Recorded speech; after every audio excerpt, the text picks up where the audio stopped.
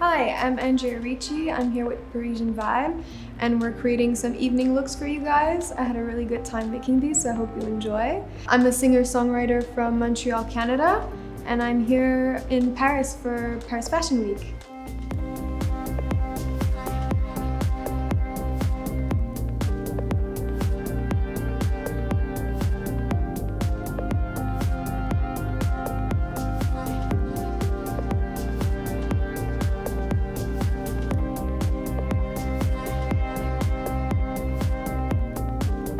I have a little combination of vintage pieces, stuff that I've been cherishing for a really long time, um, some pieces from a brand I also work for in fashion. So I'm like combining fashion life with music life recently. Super happy about these pieces. I'm just excited to be here in Paris and showing you these beautiful looks.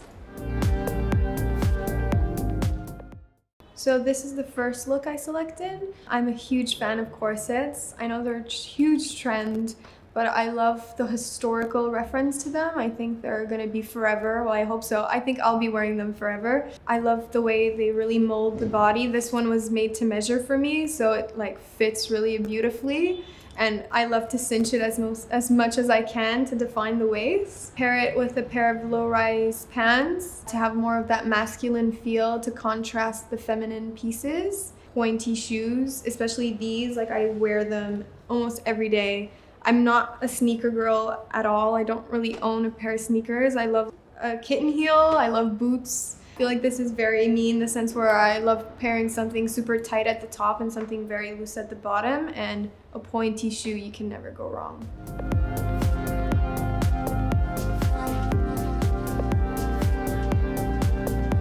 So I've just changed in my second look that I love very much.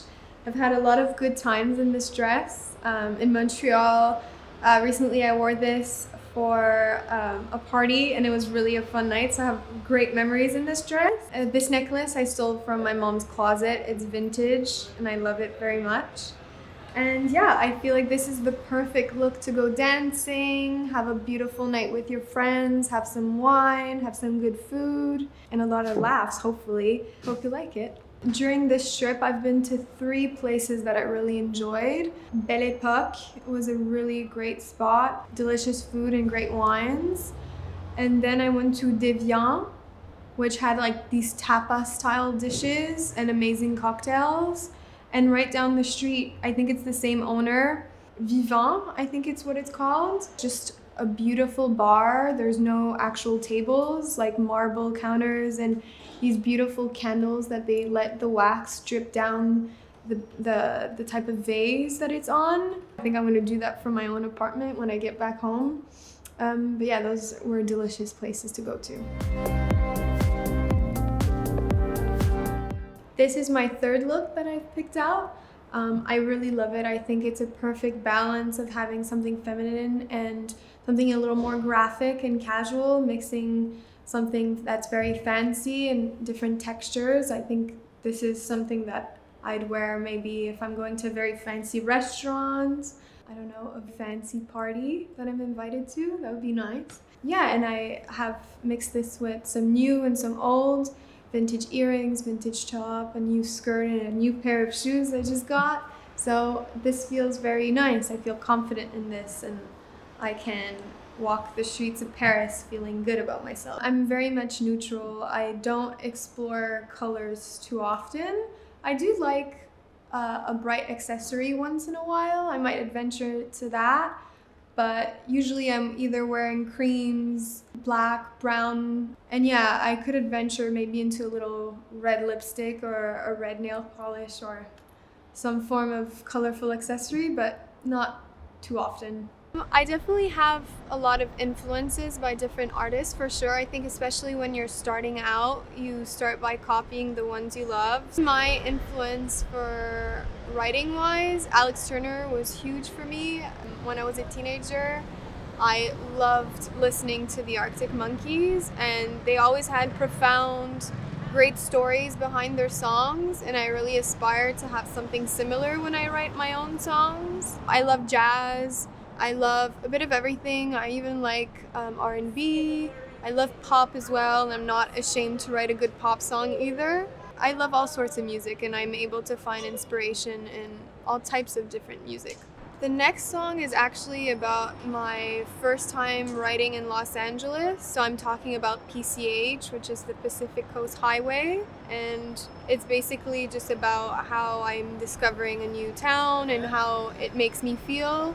I usually like to write about things that are happening during that moment to make them feel a little more authentic. Uh, my last song was written right before COVID when things were getting a bit weird. So I think that if you listen to my last release, you'll be able to hear about how I'm tired that every single day seems the same. And I think that was like very difficult for everyone to be in the same bubble all the time. Trying to stay positive, even though sometimes things could be a little dark. So, yeah, trying to write about things that are true to what's happening in my life.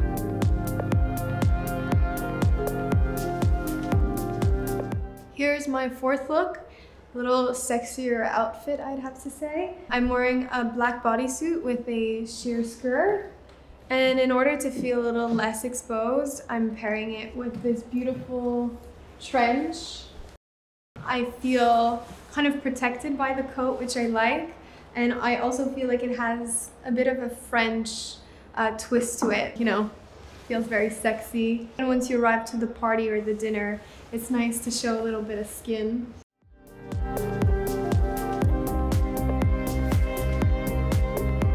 I love dressing for fall, especially in Montreal. We have such a short amount of time where we can dress in fall looks. So I love the layering. Um, hopefully I'll be able to wear some really high boots with a bit of like transparency um, or this coat.